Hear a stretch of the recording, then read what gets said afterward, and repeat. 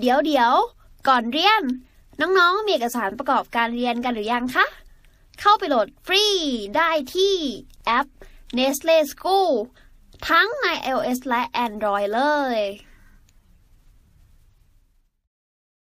ต่อไปข้อ 8 โจทย์บอกว่า รูปสามเหลี่ยม A B C มี A เท่ากับ 3 บวกรูท3 B เท่ากับ2รูท3แล้วก็ C เท่ากับรูท6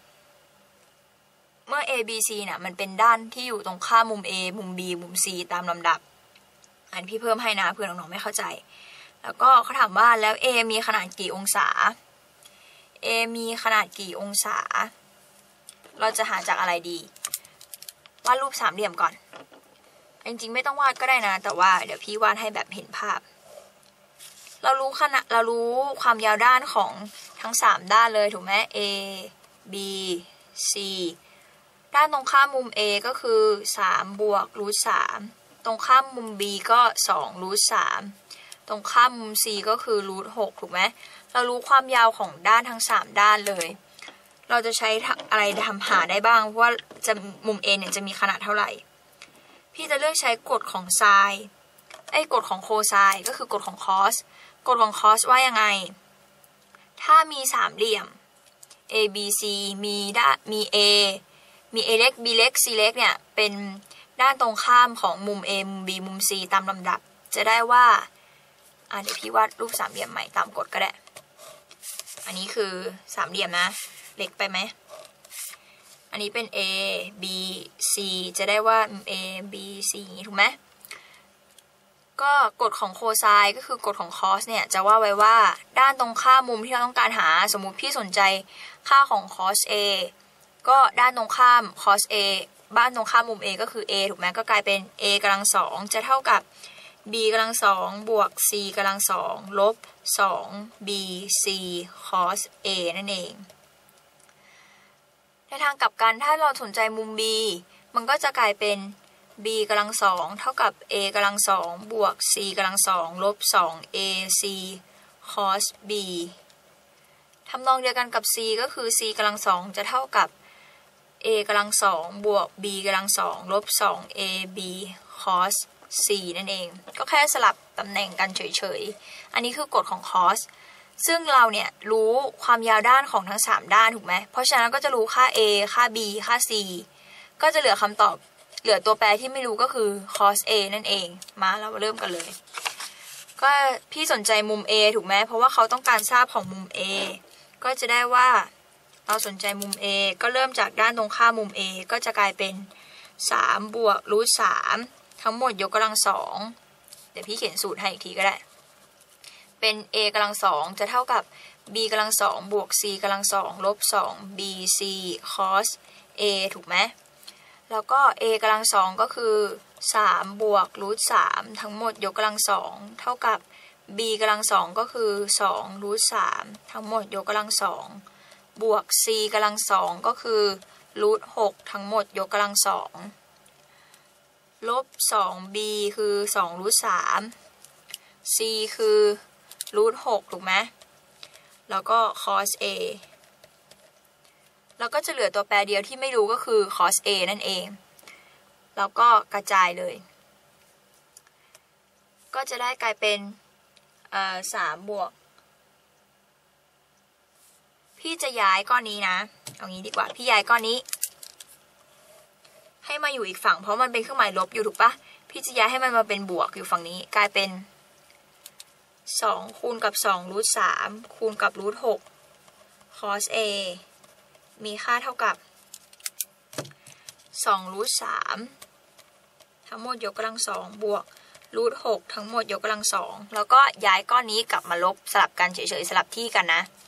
ก็จะลบกลายเป็นลบสามบวกรูทสามทั้งหมดยกกำลังสองหาค่าฝั่งขวามือก่อน ก็จะกลายเป็น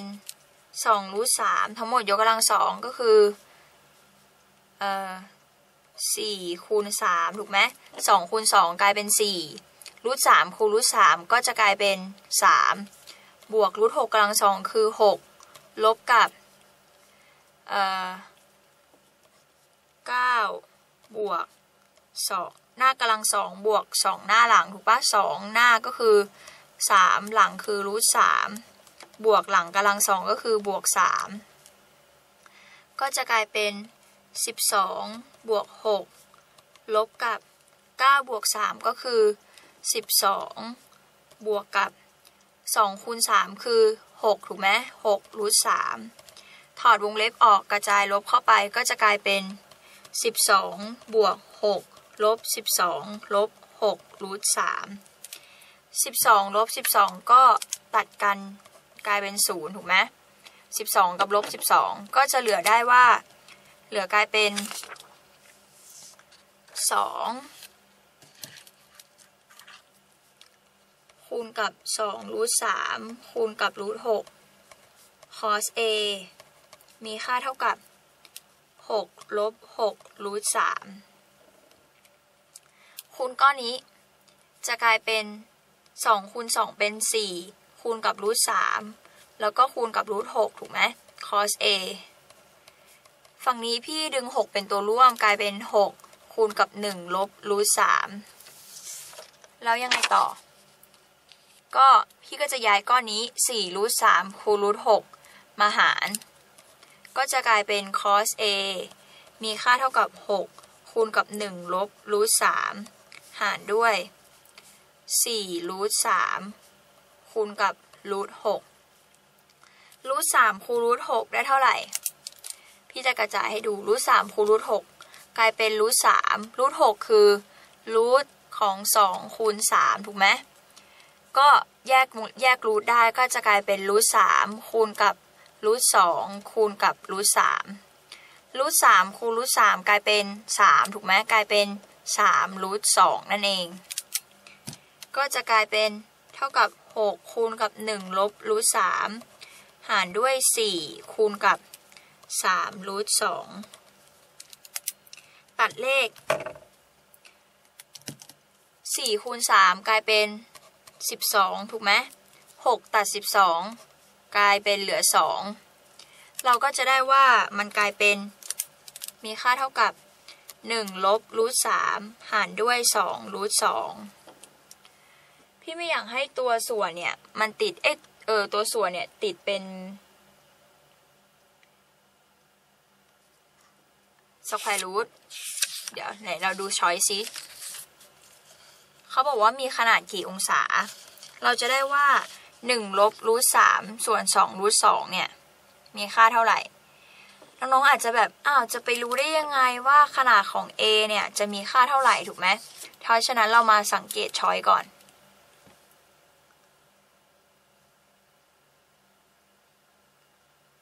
อันนี้เรารู้ขนาดของค่าของ cos a ถูกไหมซึ่งมันเท่ากับ1ลบรูทสามส่วน2รูทสองเรารู้อะไรบ้างในช้อยนี้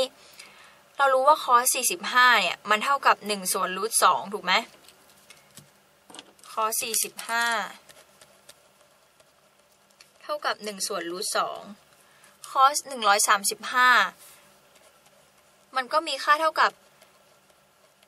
cos 45ถูกไหม แต่แค่ตกกันคนในตกในคอแรนที่2ดังนั้นค่า cos ก็จะกลายเป็นลบถูกปะ ก็จะกลายเป็นลบ1ส่วนรูทสองเรารู้อะไรอีกบ้าง อะ เรารู้2ข้อ2ค่านี้และ2ข้อ แต่ว่าเรารู้ว่า cos a เนี่ยมันเท่ากับ1ลบรูทสามส่วน2รูทสองซึ่งมันไม่ได้เท่ากับ 1 ส่วนรูทสองเลยถูกไหมเพราะฉะนั้นค่า a ที่จะเท่ากับ 45 กับ 135 เนี่ยก็เป็นไปไม่ได้แล้ว เพราะฉะนั้นข้อ 1 กับข้อ 4 เนี่ยตัดไปเลย แล้วอะไรอีก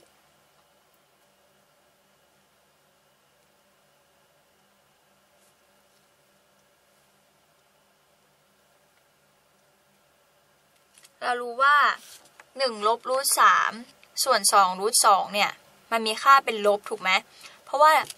มันจะประมาณเป็น1ลบ1.732 ส่วน2รูทสองถูกไหม ซึ่งตัวเศษเนี่ย มันให้ค่าเป็นลบ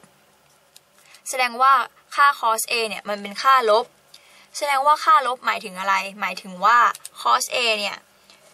จะต้องตกในคอลันที่ 2 ไม่ก็คอลันที่ 3 ถูกปะเพราะว่าคอลันที่ 1 กับคอลันที่4เนี่ย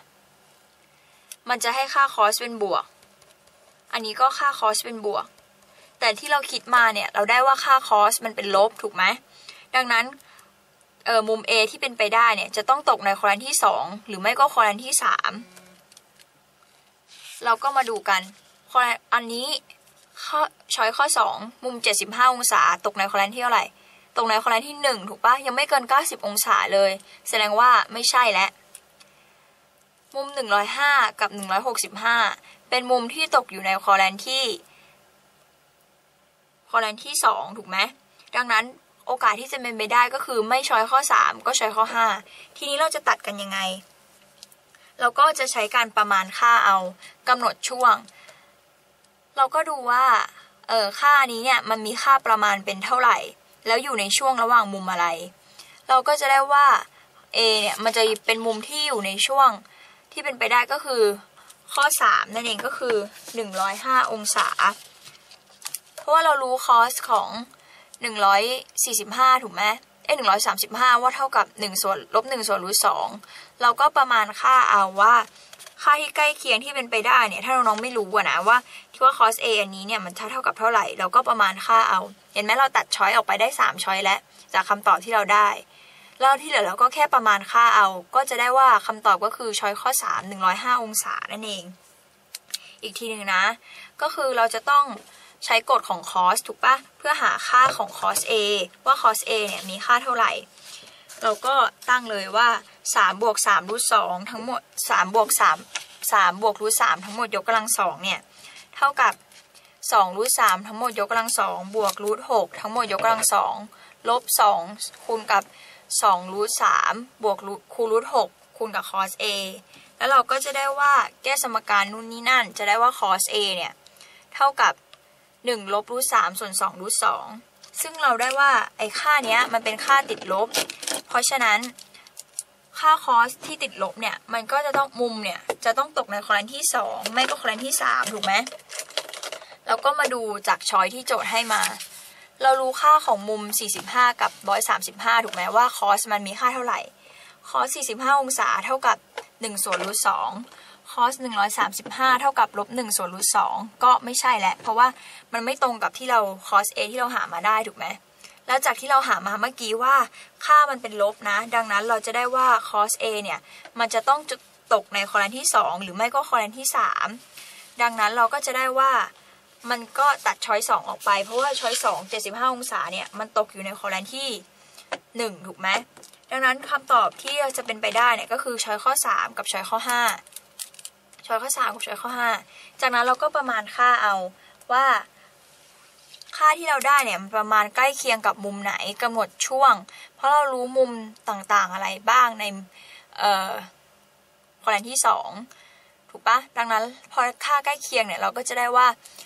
มุม A เนี่ยมีขนาด 105 องศานั่นเอง เพราะฉะนั้นคำตอบในข้อนี้ก็คือช้อยข้อ 3 ค่ะ 105 องศา เรียนจบแล้ว อย่าลืม เข้าไปฝึกทำข้อสอบแบบจับเวลา ในแอป Nestle School กันด้วยนะจ๊ะ ถ้าน้องๆมีคำถามสงสัย ไม่เข้าใจตรงไหน ถามว่าในแอปได้เลย แล้วพี่ๆจะรีบเข้าไปตอบให้นะคะ